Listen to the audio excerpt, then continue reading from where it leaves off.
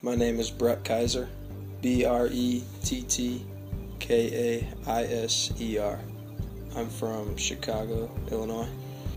I have eight siblings.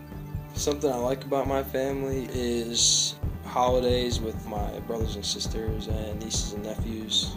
I attend Wichita State University. My major is secondary education chemistry. What I enjoy about my major is just the overall chemistry lab portion. I enjoy doing lab and working with other classmates. I just plan on becoming a high school chemistry teacher and hopefully one day becoming a college basketball coach. I am involved in the men's basketball. I am a manager of the team as a Wichita State basketball manager, I attend practice every day, make sure the gear is ready for all the guys. For games, got to make sure all the jerseys are out, and basically just anything that needs to be done around the locker room gets taken care of.